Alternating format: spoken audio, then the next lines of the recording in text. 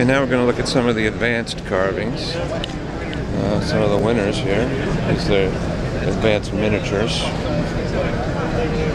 Hard to photograph the advanced miniatures.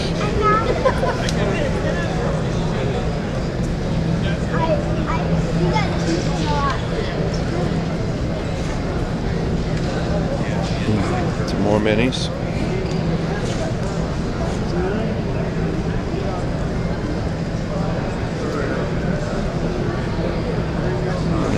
Cross over to the other side of the table, so bear with me. I'll get a look at the floor.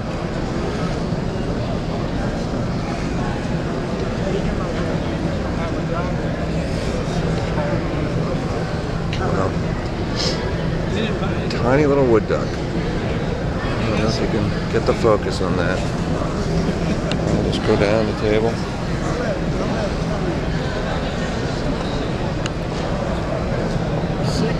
Nice use of painted light on that one.